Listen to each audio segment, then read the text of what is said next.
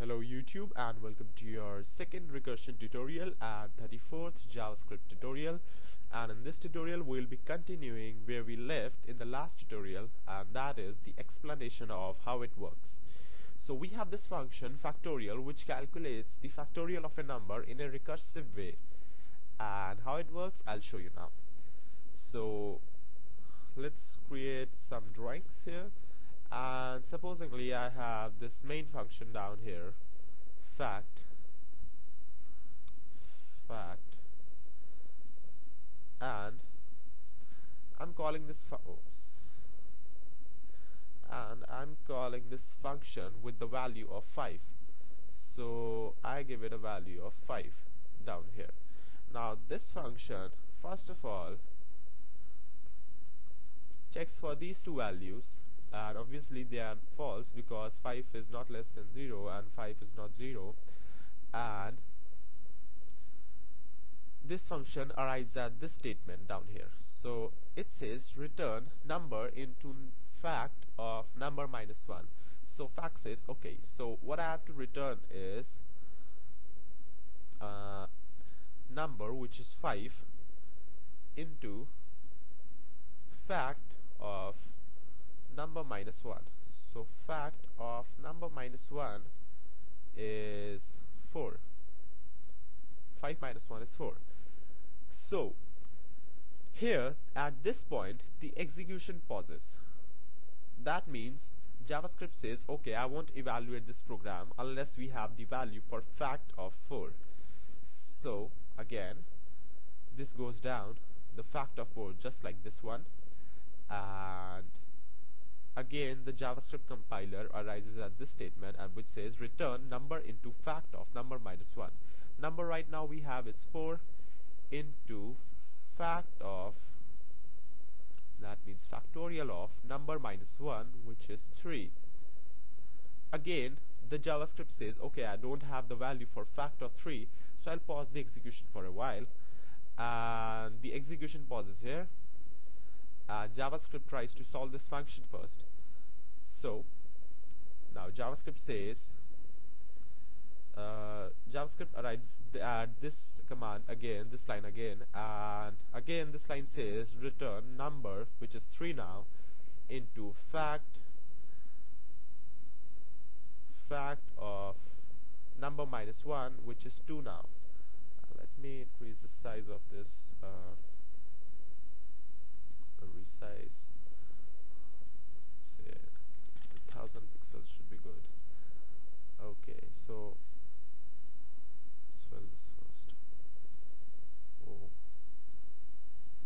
So okay. So now JavaScript says uh, this is 2 actually. 2 so the execution again stops here JavaScript says let me solve this function first. And this happens in the fractions of seconds you can't even notice this these all these processes. So now JavaScript says uh, to solve this function now fact of 2 is 2 into fact of 2 minus 1 that is 1 and at this point we have arrived at our base condition because we say if number is equal to oh sorry not the base one yet and fact is equal to 1 and then again it goes down. Execution pauses. Here it goes down. And finally we have 1 into fact of 1 minus 1 that is 0 so finally we are at base condition because factorial of 0 we have said return 1. Now from here the JavaScript compiler takes it backward. Now at this point fact 0 returns as 1 the value 1 so this value becomes 1 into 1 that is 1 that is 1 so this value is passed to this function now fact 1 as returned is 1 so this evaluates to 2 into 1 that is 2 then this value is returned to this function down here this execution which has paused for a while. Then we get 3 into 2 because 2 into 1 is 2 right here. Then we get 3 into 2 which is 6 now this value 6 is passed to the factorial 3 function down here. And then we have 4 into 6 which is 24 and then we have this 24 value down here passed to the factorial 4 and then this evaluates like 5 into 24 which is 120 so factorial of 5 is equal to 120 and don't consider it as 5 is not equal to 120 obviously.